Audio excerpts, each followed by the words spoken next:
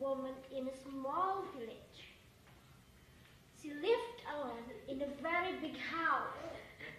She was very greedy, so people called her Baginda Andi, the greedy, wealthy woman. Hello. I am the richest woman in this village. All this wealth are mine. No one can take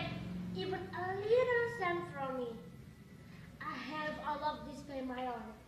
So why do I have to share this with the other? That was what she thought about. She didn't care with the people around her, although they were very poor and were starving.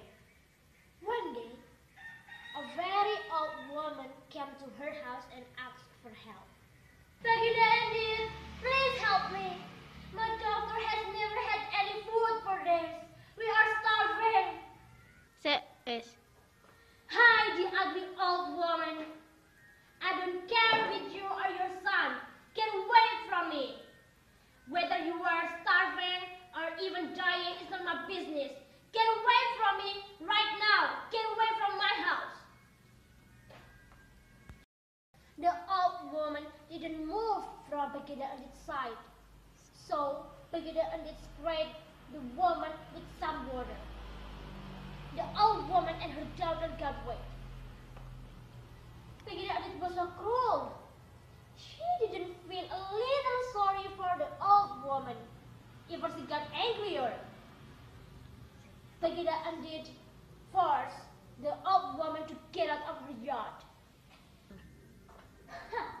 what such a foolish woman would does she think she is, so that she comes to me for help?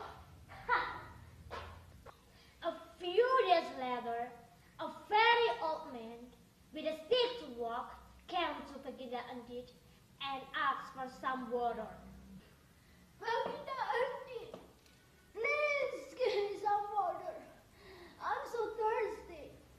If you don't mind, I'll take the water from your well. Give the man. I want you to take my water. And the drop of my water is sorry for me. No one can take any of them. Go away. Agina Andi, you don't want to lose any drop of your water. Now, I will give you more water. He took his stick out of the ground, and the water came out, bursting into the air. It swept all over the village and turned into a lake.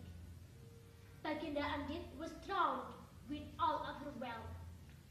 The people called her